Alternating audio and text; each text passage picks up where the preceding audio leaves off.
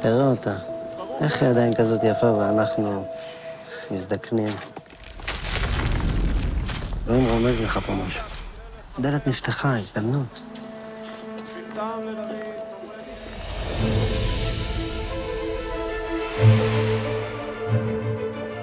תשמע, להיות אלמנה זאת עבודה קשה ומעצבנת.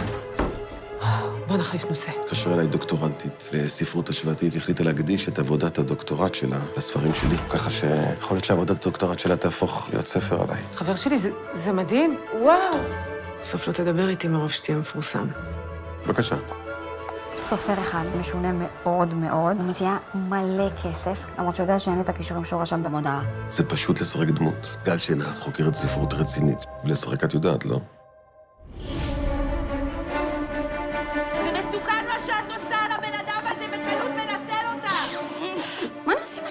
הזה? אני נראית כמו דודה. מה זה? מה? מה שעשית עכשיו עם היד לתוך ה...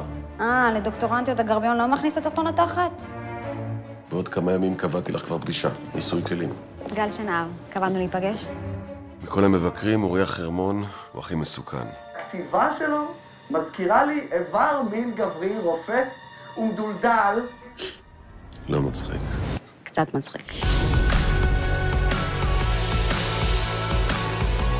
בסוף הוא יגיע לי והכל ייהרס. סוחטק. כוסוכתק? נו, אני מצטערת. תמר היא החברה הכי טובה שלי. חברה או חברה חברה? זה מגוחך כמה שאנחנו לחוצים ממה אנשים אחרים חושבים עלינו, ובינתיים הזמן עובר. יש אצלי מישהי, מישהי במובן הנשי של המילה אצלך. דביל. אולי הוא סופר אפס, אבל הוא עשר ברומנטיקה. עוד לא מאוחר להחליף מקצוע. הייתה פעם אחת שנפגשנו במקרה ברחוב, ואני... הרבסת לו מכות? כל הכבוד.